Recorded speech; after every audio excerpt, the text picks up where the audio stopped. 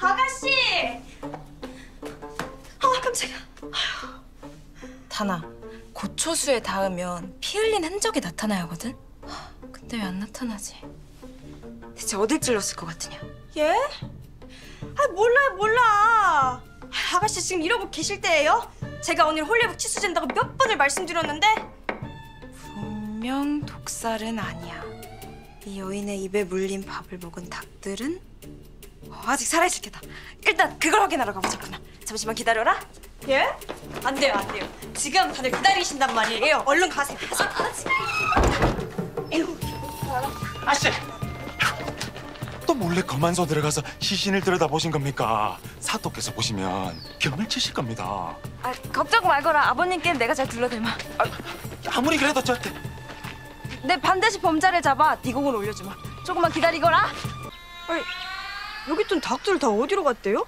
그 아까까지만 해도 닭장안에 다 있었는데 호랭이가 물어갔나?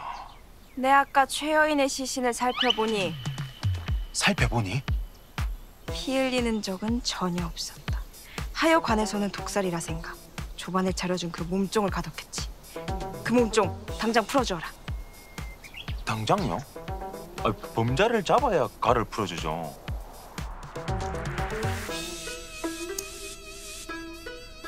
진범은 최 여인의 정수리에 이 바늘을 꽂아 넣어 죽였다.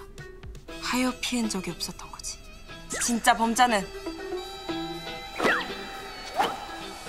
바로 저 닭으론 진자야. 최여인을 죽인 자가 뭐하러 관하닥을 훔친답니까? 찔려 죽은 걸 독살로 위장하려는 수법 아니겠느냐. 진범은 몸종에게 두 명을 씌우려 한 게지. 독살된 시신의 입에 밥을 물리면 어찌 되겠느냐. 그야 밥에 독이 스며들겠죠? 그 밥을 닭에게 모이로 주면 그야 쪼아 먹는 놈은 꼴깍 죽어보겠죠? 그런데 닭이 멀쩡히 살아 있다면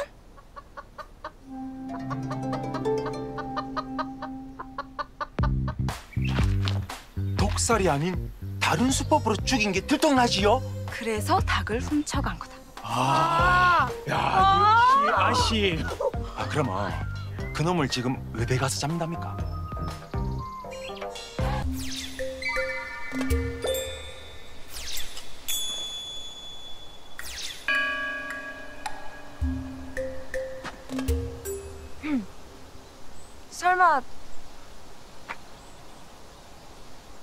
여기서 뛰어내리시려던 건 아니시죠? 신경 쓰지 마시오. 양반 한양 출신 그리고 의원 내의원 출신이시죠?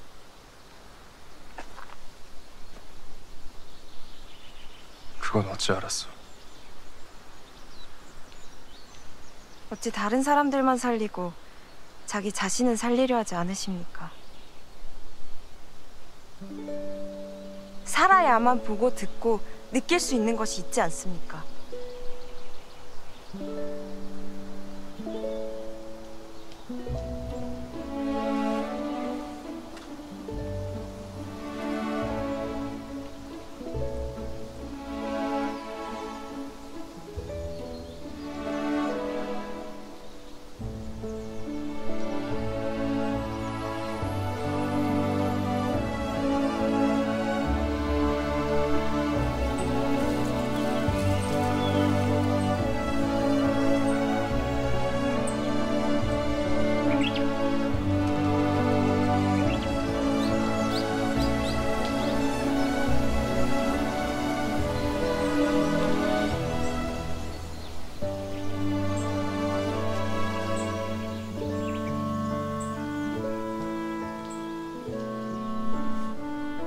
나무.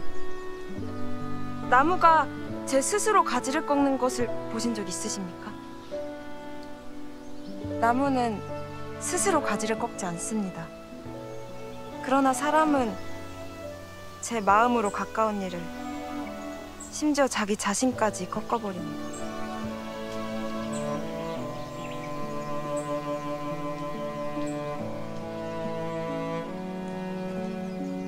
꺾지 마십시오. 의원님은 꺾는 사람이 아니라 살리는 사람이지 않으십니까?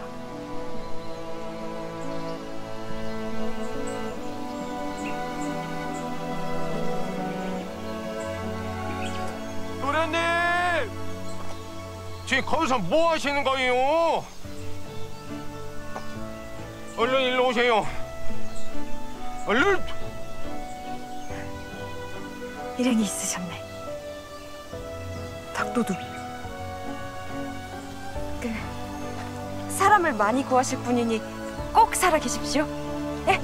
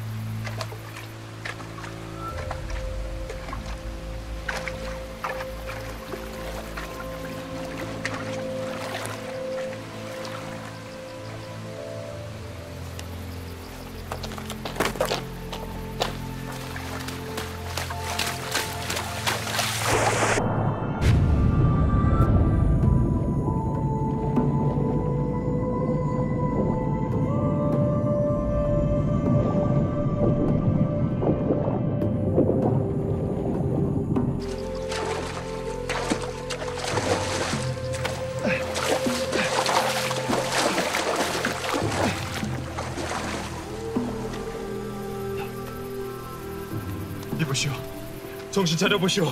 이보시오. 사람을 많이 구하실 분이니 꼭 살아 계십시오.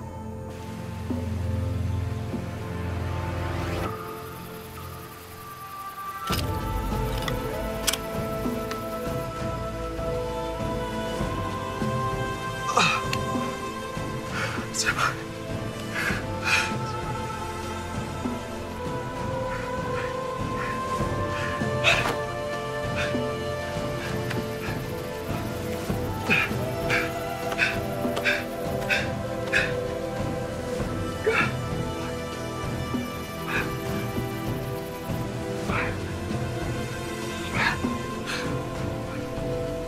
이보시오. 정신 차려보시오. 이보시오. 정신 차려보시오.